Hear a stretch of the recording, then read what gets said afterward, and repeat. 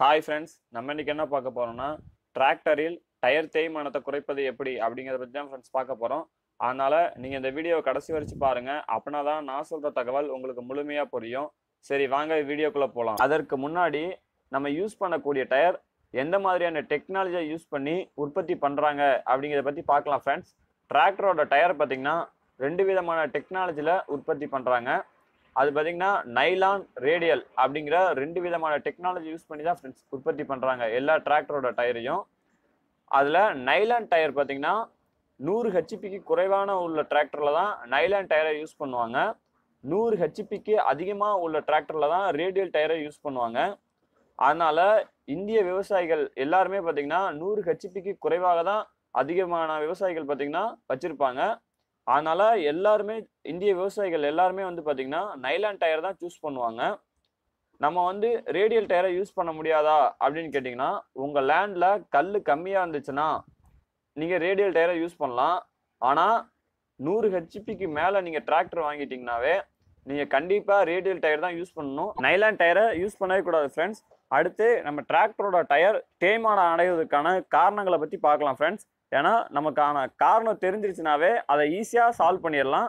அதனால் டிராக்டரோட டயர் தேய்மானம் அடைவதற்கான காரணங்களை பற்றி ஒவ்வொன்றா பார்க்கலாம் ஃப்ரெண்ட்ஸ் அதில் ஃபஸ்ட்டு பார்த்தீங்கன்னா டிராக்டரோட டயர் சைஸு டிராக்டரோட டயர் சைஸ்னாலையும் பார்த்தீங்கன்னா தேய்மானம் அடைவதற்கான வாய்ப்புகள் அதிகமாக இருக்குது ஃப்ரெண்ட்ஸ் அடுத்து பார்த்தீங்கன்னா வீல் அலைன்மெண்ட்டு அடுத்து ஹை ஏர் ப்ரெஷரு அப்புறம் லோ ஏர் ப்ரெஷரு அப்புறம் பார்த்தீங்கன்னா ஹெவி லோடு அதாவது அதிகமான வெயிட்டை ஏற்றிட்டு போகிறனாலையும் டிராக்டரோட டயர் வந்து தேய்மானம் அடையும் ஃப்ரெண்ட்ஸ் அடுத்து பார்த்தீங்கன்னா ரிம்மு அப்புறம் டயர் வால்ஸு அப்புறமே பார்த்தீங்கன்னா தேய்மானம் அடைந்த டயரை வந்து மாற்றணும் ஏன்னு பார்த்தீங்கன்னா இப்போ நீங்கள் ஒரிஜினல் டயர் யூஸ் பண்ணிக்கிட்டு இருக்கீங்க அடுத்த வாடி ரீபில்ட் போட போகிறீங்க அப்படின்னா ஒரு தொண்ணூறு பர்சன்டேஜ் டயர் வந்து தேஞ்சிச்சுனாவே அடுத்து வந்து நீங்கள் ரீபில்ட் போட கொடுத்துடணும்.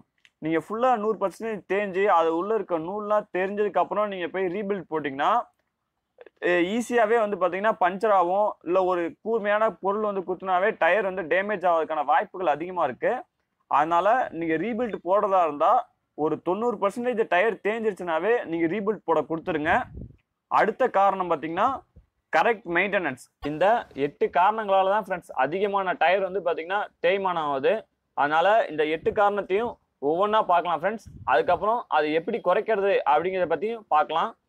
அதில் ஃபஸ்ட்டு காரணம் பார்த்தீங்கன்னா டயர் சைஸ் டயர் சைஸ்னாலையும் பார்த்தீங்கன்னா டயர் வந்து அதிகமான தேய்மானத்தை உண்டுபடுத்தும். டிராக்டரோட டயர் சைஸ் நீங்கள் மாற்றி போட்டு யூஸ் பண்ணாலும் அதிகப்படியான தேய்மானத்தை ஏற்படுத்தும் ஃப்ரெண்ட்ஸ் டூ வீல் டிரைவ்னா பிரச்சனை இல்லை. ஃபோர் வீல் டிரைவ்னா இப்போ நீங்கள் கம்பெனிலேருந்து வாங்கும்போது பேக்கில் வந்து பதிமூணு பிளே ஃப்ரண்ட்டில் எட்டு பிளேனா அந்த எட்டு பிளே பதிமூணு பிளே அந்த காம்பினேஷனில் தான் நீங்கள் டயர் வந்து மாற்றி போட்டு யூஸ் பண்ணணும். எப்போ நீங்கள் டயர் மாற்றினாலும் நீங்கள் எட்டு பிளேக்கு பதிலாக ஃப்ரண்ட்டில் ஒம்பது புள்ளி ரெண்டு அந்த இது டயர் சைஸ் மாற்றினீங்கன்னா கண்டிப்பாக தேய்மானம் அடையும் ஃப்ரெண்ட்ஸ் ஏன்னா ஃபோர் வீல் டிரைவில் பார்த்தீங்கன்னா பேக்கில் இருந்து தான் அந்த ஃப்ரண்ட் வீலுக்கான பவர் போகும். அதனால் அவங்க டிராக்டரை டிசைன் பண்ணும் போதே கால்குலேஷன்லாம் நிறைய போட்டு இந்த இதுக்கு இதான் சூட் ஆகும் அப்படிங்கிறத பற்றி நிறைய கால்குலேஷன் போட்டு தான் டயரை வந்து சூஸ் பண்ணுவாங்க. அவங்க என்ன காம்பினேஷன் கொடுக்குறாங்களோ அந்த காம்பினேஷனில் தான் ஃப்ரெண்ட்ஸ் டயர் சைஸை நீங்கள் சூஸ் பண்ணும்.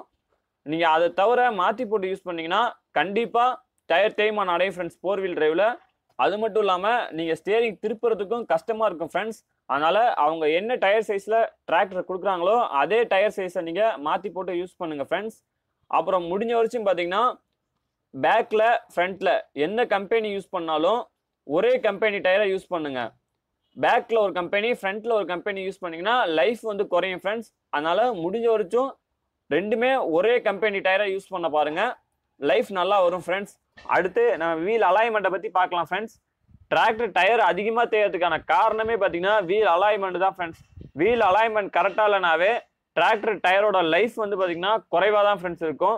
லைஃபே வராது. அதாவது ஒரு ஆறு மாதம் இல்லை ஒரு வருஷம் தான் மாற்றிருப்பீங்க புது டயரு அதுக்குள்ளேயே பார்த்தீங்கன்னா தேஞ்சு போயிடும். அதனால் வீல் அலைன்மெண்ட் கரெக்டாக இருக்கா இல்லையா அப்படிங்கிறத செக் பண்ணிட்டு நீங்கள் வந்து கரெக்டாக அதை போய் சரி பண்ணிக்கோங்க ஃப்ரெண்ட்ஸ் இதை எப்படி செக் பண்ணுறது அப்படிங்கிறத பற்றி பார்க்கலாம். ஈஸியாக ஒரு மூணு மெத்தட்லேயே உங்கள் டிராக்டர் வீல் வந்து அலைன்மெண்ட் கரெக்டாக இருக்கா இல்லையா அப்படிங்கிறத பற்றி கண்டுபிடிச்சிடலாம் ஃப்ரெண்ட்ஸ் அதில் ஃபஸ்ட்டு மெத்தட் பார்த்தீங்கன்னா உங்கள் டிராக்டரை ஒருத்தரை ஓட்ட கொஞ்சம் ஸ்பீடாக ஓட்ட சொல்லிட்டு நீங்கள் பின்னாடி இருந்து பார்த்தீங்கன்னா தெரியும். ஒரு வீல் பார்த்தீங்கன்னா ஆடி ஆடி லைட்டாக சுற்றும் வீல் அலைன்மெண்ட் இல்லை கரெக்டாக இல்லாத வீல் பார்த்தீங்கன்னா லைட்டாக ஆடி ஆடி சுற்றும் அப்படி இல்லாட்டி நீங்கள் இந்த படத்தில் பார்த்தா கூட புரியும். லைட்டாக ஆடி ஆடி சுற்றினாப்புல இருக்கும். அடுத்தது பார்த்தீங்கன்னா நீங்கள் ஓட்டும் போது ஸ்டேரிங் வந்து ஒன் சைடாக இழுக்கும். அடுத்து பார்த்தீங்கன்னா ஸ்டேரிங் வந்து ஒரு மாதிரி அதிரும் ஃப்ரெண்ட்ஸ் அதாவது வைப்ரேஷன் இருக்கும் ஸ்டேரிங்கில் இதை வச்சு கண்டுபிடிக்கலாம். இந்த மூணு மெத்தடை வச்சு உங்கள் டிராக்டரோட வீல் அலைன்மெண்ட் கரெக்டாக இருக்கா இல்லையா அப்படின்னு செக் பண்ணிட்டு நீங்கள் போயிட்டு உடனே சரி பண்ணிக்கோங்க ஃப்ரெண்ட்ஸ் அடுத்து மூணாவது காரணம் பார்த்தீங்கன்னா ஹை ஏர் ப்ரெஷர் அதாவது டயரில் அதிகமான காற்று இருந்தாலும் அதிகமாக தேய்மானத்தை ஏற்படுத்தும் ஃப்ரெண்ட்ஸ் அது எப்படின்னா உங்களோட டயர் வந்து அதிகமாக காற்று இருக்கும் போது பார்த்தீங்கன்னா ரோட்டுக்கும் டயருக்கும் உள்ள கான்டாக்ட் பார்த்தீங்கன்னா குறைவாக இருக்கும். அப்போ பார்த்தீங்கன்னா கிரிப்பு இருக்காது. டயருக்கும் ரோட்டுக்கும் உள்ள அந்த கிரிப்பு வந்து இருக்காது. அதனால பார்த்தீங்கன்னா டயரோட சென்டர் பாயிண்ட் பார்த்தீங்கன்னா அதிகமாக தேய்மானம் அடையும். அது மட்டும் இல்லாமல் நீங்கள் ஓட்டும் போது குலுங்கி குலுங்கி ஓடும். அதாவது ஒரு குதிச்சு குதிச்சு ஓடுற மாதிரி இருக்கும். ஒரு கம்ஃபர்டபுளாகவே இருக்காது நீங்கள் ஓட்டுறதுக்கும். அடுத்து பார்த்தீங்கன்னா மைலேஜும் தராது ஃப்ரெண்ட்ஸ் அதாவது கிரிப்பு இல்லாத போது டயருக்கும் ரோட்டுக்கும் வந்து கிரிப்பு இல்லாத போது பார்த்தீங்கன்னா மைலேஜ் இருக்காது. ஏன்னா வலிக்கு வலிக்கிட்டு சுற்றிக்கிட்டே இருக்கும். அதிகப்படியான சுத்துதல் ஏற்ப சுத்தும். அப்போ பார்த்தீங்கன்னா உங்களுக்கு மைலேஜ் வந்து குறைவாக தான் இருக்கும். அதனால கரெக்டாக ப்ரெஷரை வந்து மெயின்டைன் பண்ணுங்க. அடுத்து நாலாவது காரணம் பார்த்தீங்கன்னா லோ ஏர் ப்ரெஷர் அதாவது காற்றோட அழுத்தம் கம்மியாக இருந்தாலும் டயர் வந்து அதிகமாக தேய்மானம் அடையும் ஃப்ரெண்ட்ஸ் அது எப்படின்னா காற்று கம்மியாக இருக்கும் போது டயர் வந்து அதிகப்படியாக ரோட்டில் வந்து படிஞ்சிருக்கும். அப்போ பார்த்தீங்கன்னா நம்ம ஓட்டும் போது ஈஸியாக தேய்மானம் அடையும் ஃப்ரெண்ட்ஸ் அது மட்டும் இல்லாமல் வண்டியோட வெயிட் ஃபுல்லுமே வந்து அந்த டயரில் இருக்கனால டயரோட சைடு வால்வ் இருக்குல்ல அதுவுமே வந்து டேமேஜ் அதிகமாகும் ஃப்ரெண்ட்ஸ் அது மட்டும் இல்லாமல் ஒரு ஸ்டெபிலிட்டியே கிடைக்காது. நீங்கள் ஓட்டுறப்ப அது மட்டும் இல்லாமல் பார்த்தீங்கன்னா நீங்கள் ஓட்டும் போது ஒரு சைடாக இழுக்கிற மாதிரி இருக்கும். அப்புறம் பார்த்தீங்கன்னா ஒருவேளை ஃப்ரண்ட் வீலில் டயர் காற்று கம்மியாக இருந்துச்சு அப்படின்னா நீங்கள் ஸ்டேரிங் கண்ட்ரோல் பார்த்தீங்கன்னா கிடைக்காது ஃப்ரெண்ட்ஸ் அதாவது ரொம்ப ரிஸ்க் எடுத்து டயரை வந்து திருப்புற மாதிரி இருக்கும். அதனால் கரெக்டாக ஏரை வந்து அதிகமாகவும் போகாமல் கம்மியாகவும் போகாமல் கரெக்டான லெவலில் மெயின்டைன் பண்ணுங்கள் ஃப்ரெண்ட்ஸ் டயருக்கு வந்து லைஃப் நல்லா இருக்கும் ஃப்ரெண்ட்ஸ் அடுத்து அஞ்சாவது காரணம் பார்த்தீங்கன்னா ஹெவி லோடு அதாவது நம்ம டிராக்டரில் எந்த பொருளை மாட்டுறதா இருந்தாலும் டிராக்டரோட பின்னாடி இருக்க அந்த ஹூக்கில் தான் ஃப்ரெண்ட்ஸ் மாட்டுவோம். அதாவது டிப்பரு கலப்பை ரொட்டவேட்ரு அந்த மாதிரி எது மாட்டுறதுனாலும் டிராக்டரோட பின்னாடி வீல் அந்த பேக் ஆக்சியில் தான் மாட்டுவோம். அப்போ பார்த்தீங்கன்னா பேக் வீலுக்கு வந்து அதிகமான வெயிட் ஏற்படும். அப்போ பார்த்தீங்கன்னா ஃப்ரண்ட் வீல் வந்து கொஞ்சம் லைட்டாக தூக்கும். அதாவது ஃப்ரண்ட் வீலுக்கு வெயிட் கிடைக்காதது பேக் வீலில் தான் ஃபுல் வெயிட்டுமே இருக்கும். அ- நம்ம வண்டியை வந்து மூவ் பண்ணும்போது பார்த்தீங்கன்னா பேக் வீல் வந்து சுத்தும் ஃப்ரண்ட் வீல் வந்து தூக்கும். அப்போ எல்லா வெயிட்டுமே பேக் வீலில் இருக்கனால பேக் வீல் வந்து அதை தாங்கி சுத்தும் போது பார்த்தீங்கன்னா அதிகமாக தேய்மானம் ஏற்படும். அது மட்டும் இல்லாமல் பார்த்தீங்கன்னா ஒவ்வொரு சமயம் டேமேஜ் அதாவது டயரில் வந்து அதிகமாக டேமேஜ் ஆகும். ஒவ்வொரு சமயம் கிராக் ஆகும்.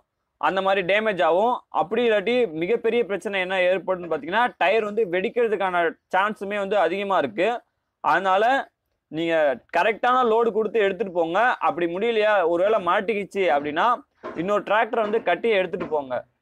நீங்கள் அதே மாதிரி சுத்த விட்டுக்கிட்டே இருந்தீங்கன்னா இந்த மாதிரி தேய்மானம் வந்து அதிகமாகும். அது மட்டும் இல்லாமல் லைஃப்பும் குறையும்.